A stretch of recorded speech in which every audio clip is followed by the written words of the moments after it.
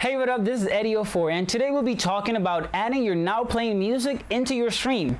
Now, there are many ways of doing this, but I believe this method is the cleanest and best looking combination. I've tried so many things, using multiple media players such as Foobar, Winamp, Media Player, Visualization, but many of these require window capture on OBS or any of your tools you use for streaming, or other solutions which didn't seem efficient to me. Well, today we'll be doing something like this or like this in just a few steps. This was made possible thanks to Harris Heller from StreamBeats and Alpha Gaming, in collaboration with AC Pixel, the developer who brought this to life. Now let's dive into adding this into your stream. For more awesome tricks like these, check out the Streaming Wiz playlist in the description below. I share all the cool stuff that I do and add to my stream. Now, any doubts or questions related to streaming or content creation? Well, just join me. Go ahead. I stream every Monday, Wednesday, and Friday on Twitch. In this video, we'll see two methods to get the same result which depends on the music platform you're using. Feel free to use the chapters in the timeline to jump to the desired solution. Both methods use AC Pixel's Pixel Chat, an alert widget solution originally created for Mixer streamers, but you know how that went. Hope that doesn't happen with Twitch. Okay, so now let's go to the browser of your preference and go to pixelchat.tv. The URL is in the description below. Okay, so the first thing you're gonna do is go to your browser of preference and go to pixelchat.tv. So right away, what you wanna do is, um, obviously because it's a login with Mixer and Mixer is dead, you're gonna go ahead and log in with Twitch. Go to overlays and in overlays, I currently have uh, my now playing overlay. So you're gonna go ahead and create a new overlay. Most important one, which is really cool, is the now playing. And as soon as you create that, you'll notice that you have your now playing overlay here. You can call it whatever you want it to be. So you can go ahead and click on here to view the setup tutorial.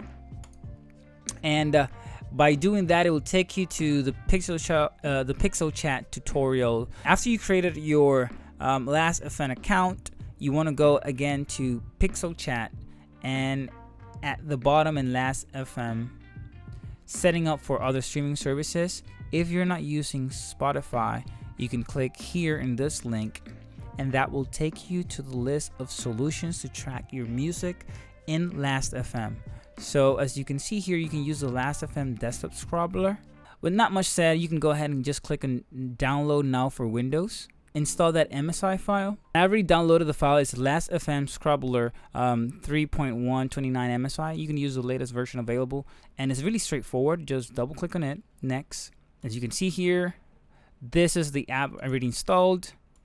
You go here to settings, and currently he is picking up whatever last.fm account you have enabled. In this case just go ahead and click on settings log in and it would ask you to log in to the website and it should show something like this where you want to connect the application and you just go ahead and click and say yes allow access. That would directly connect your last.fm um, account to the scrobbler after you have done that you want to go ahead and enable to select the plugin for iTunes or Windows Media Player. Um, and as soon as you have this installed, it's really straightforward. You just need to go ahead and open any kind of music that you have and that is about it as you can see the notification came down here in the lower right corner I'm also going to show you now how to add that into the stream and go to pixel chat and into our overlay we want to set up which is the account that we want to be using to connect to Last.fm. In this case, I already have my account.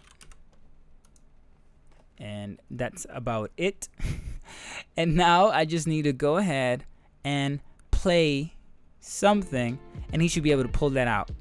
And as you can see here, boom. And this is really straightforward. Now, just after I finish doing this, I'm going to go ahead and click here and this should show me a preview of how it looks, right?